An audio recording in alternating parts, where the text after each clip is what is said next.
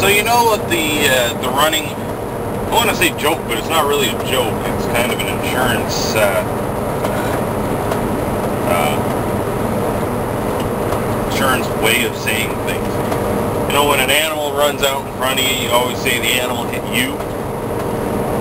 Well, last night, I can't just say that. It actually happened. I don't know what it was.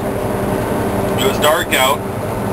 I caught something out of this corner of my uh, headlight there. Looked like it was white, so it was probably a, a rabbit, maybe an owl, because I know there's owls around here. I was really low to the ground, so I don't know, but it kind of was hopping around. I, I thought originally I thought it was just a grocery bag because it just was there and then it was gone. And it was kind of lifting up. Next thing I know, I hear this little thud on the side down here by the door. So literally something hit me broadside, so, you know, I don't know what it was. It was some sort of small fuzzy animal, I guess. But then shortly after that, I almost hit a moose. Little baby little thing. I don't. No, it wasn't really a baby. I mean, hind end was probably up to about here-ish. But it looked like it was smaller. It looked like it was younger. Kind of an ugly thing, too. Know. Kind of this... Kind of, looked like marble cake. You know how it's got that kind of golden look and it's got that chocolate brown look and it's kind of swirled and mixed together. That's kind of what he looked like. Um, but that reminds me of the one time I almost hit a moose. Or the moose almost hit me, rather. What happened was, uh, I was sitting here in the driver's seat. It was dark out. I was sitting here in the driver's seat. I just minding my own business, you know.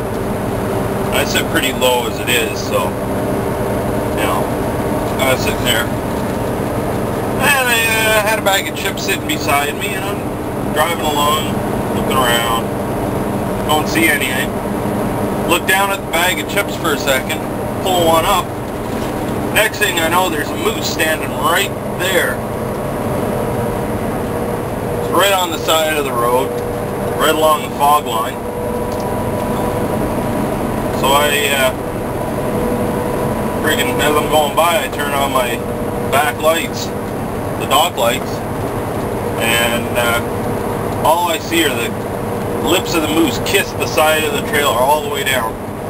Kind of funny to see blah, blah, blah, blah, blah, blah, blah, right across the trail. I don't know if you knew what the heck was going on. Imagine that hurt his teeth there, going across them rivets. But, anyway, that, that, that was funny. Mooses, you know. But, yeah, so, other than that, it's been pretty uneventful so far. Eh, on some wood. Almost uh, saw some Mennonites. Well, actually, I did see Mennonites. I was uh, contemplating about pulling into this little store, this little, little grocery uh, or gas station, little, little convenience store. I almost pulled in there, and uh, nah, I'll wait. I didn't really see a way out, but I'm looking, I'm like, oh, there was a way out. There was a road that followed in behind. What the heck is that? Sure enough, there were Mennonites selling something off their, their wagon or something. But, uh, yeah. Yeah, it wouldn't, uh, wouldn't, would have been pretty, pretty cool if I would have filmed them. And again, they wouldn't like that, so what can you do? They didn't know. I can't say that. My Mennonite watching this might say something. They don't like technology. At least that's what I heard from my Mennonite friends on the web. Tell you what, I do hate automatics. But it's kind of nice being in one, not having to worry about shifting. They were a little more secure if I could take a little more control over it the winter. And it'd be alright. And if they put a mock stick right here, maybe that's what I should do if I keep this in. Build a mock stick. I'll go to the truck wrecker or something like that and uh, see if they've got the stick.